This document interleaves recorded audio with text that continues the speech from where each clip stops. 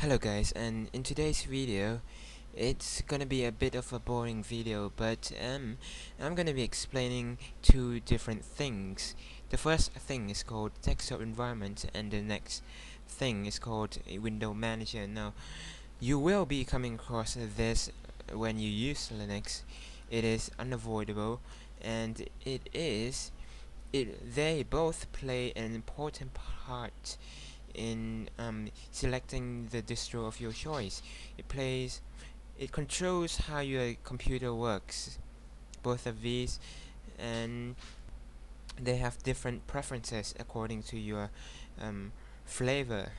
So I'm going to be explaining about these two things. Now, desktop environments and window managers are not the same thing. Let me make this point clear because some people might um, mix this this these two things up.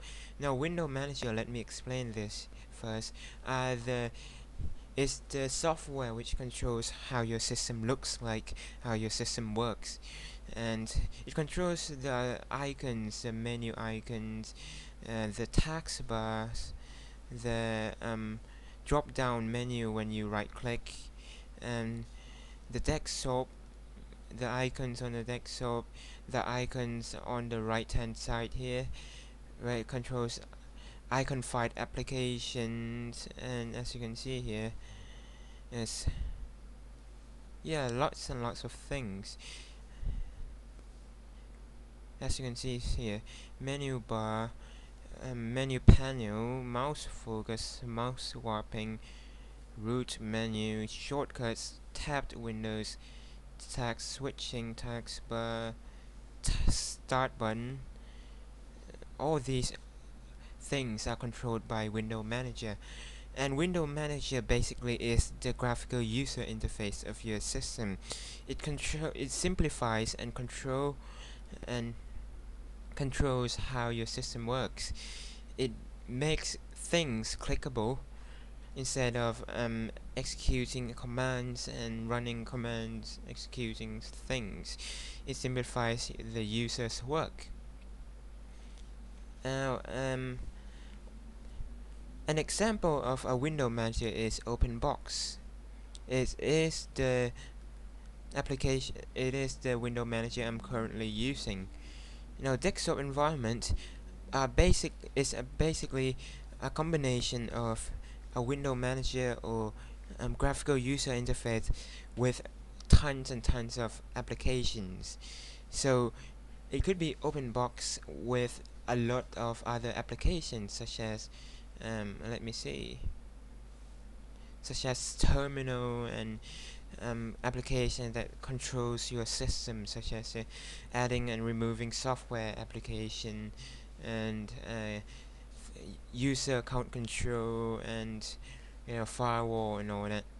Desktop environment basically is a combination of window manager mixed with um, lots and lots of applications because um, window manager has nothing to do with the applications. It just controls how your system works. Yes and here are some uh, um, desktop environments. GNOME. Now GNOME is a full feature um, desktop environment. It, con it controls lots and lots of things. It has lots and lots of its GNOME applications. Same school with the KDE. Now, what which what um, window manager does GNOME and KDE um, use? Now they develop their own um, window managers. They do not. It's not a separate window manager. They just develop their own managers window managers. However LXDE is the desktop environment I'm using.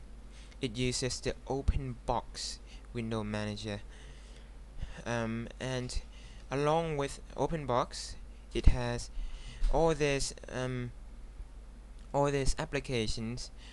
Pacman File Manager, Alex Launcher, LXPanel, Alex Session, LX Appearance, Xarchiver, um, GPicView. It's just basically a combination of um, a combination of window manager and certain applications. and that's what um, a desktop environment is and I've made this video basically just for users to understand carefully and more about the difference between the two and so that you will understand my later videos which will be on comparing desktop environments. So that's really it for me. Thank you for listening and watching to this descriptive and informative video hopefully. And please comment rate and subscribe. Thank you